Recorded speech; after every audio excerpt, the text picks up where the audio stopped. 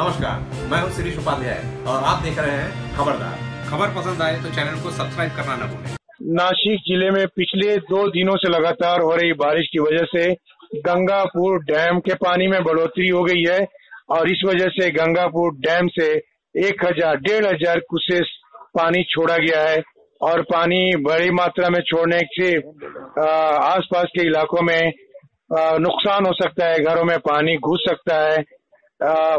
प्रशासन अधिकारी रामदास खेड़कर ने लोगों को सतर्क रहने की, का आह्वान किया। लोगों से इस बारे में अधिक जानकारी लेते हैं। नासिक में मौजूद खबरदार संवाददाता आज़ाद अवार्ड जी से।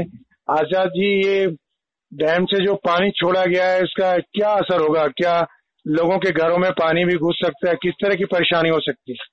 नासिक के गंगापुर डैम से और नासिक के जितने भी डैम है, वहाँ से पानी छोड़ने का काम प्रशासन ने शुरू कर दिया। इस वजह से नासिक की गोदावरी जो नदी है, उसको बाढ़ आने की संभावना जताई जा रही है। और जो रहवासी नदी किनारे रहने वाले लोगों को प्रशासन ने चेतावनी की है कि आप सतर्क रहिए और पानी में, पानी से दूर रहने की कोशिश कीजिए और लोगों के घर में पानी घुसने की भी संभावना है। इसलिए लोगों ने थोड़ा सतर्क रहने के बाद प्रशासन की ओर से की गई क्योंकि नासिक का गंगापुर हुआ, बावली हुआ इगतपुरी हो यहाँ से सब तरफ़ जो चार पाँच दिनों से जो बारिश चली उसकी वजह से पूरे डैम भर चुके हैं और इसलिए प्रशासन ने धीरे धीरे पानी छोड़ने का काम शुरू किया और क्या अभी बारिश लगातार जारी है या फ़िलहाल अभी थोड़ी सी राहत भी है लोगों नासिक के इगतपुरी त्र्यंबकेश्वर घोटी इगतपुरी डिंडोरी इस इलाके में भारी मात्रा में बारिश चालू होने की वजह से डैम का जो जलस्तर वो दिन ब दिन बढ़ते जा रहा है।